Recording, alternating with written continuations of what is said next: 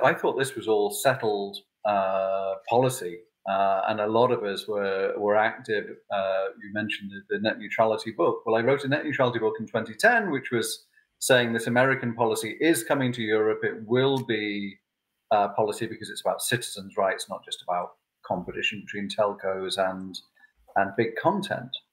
Uh, and then I wrote a 2017 book, which I thought was just the postscript. It was okay, we have a net neutrality law. It's now what's settled law. It's unlikely to ever be changed. Uh, that's a battle that will not be fought again. So it's been a real uh, eye opener to realize that we're now having to have this debate again.